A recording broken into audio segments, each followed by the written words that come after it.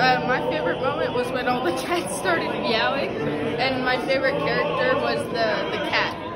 Awesome. I can't imagine it having been performed any better. It was an absolute joy and delight from beginning to end. The performers were fabulous, and I just had the most wonderful time.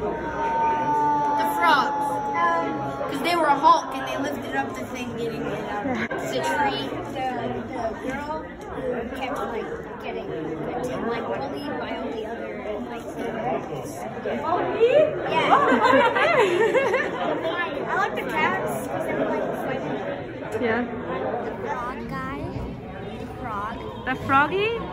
What about you, Benedict? Also the frog. Beginning. Which one?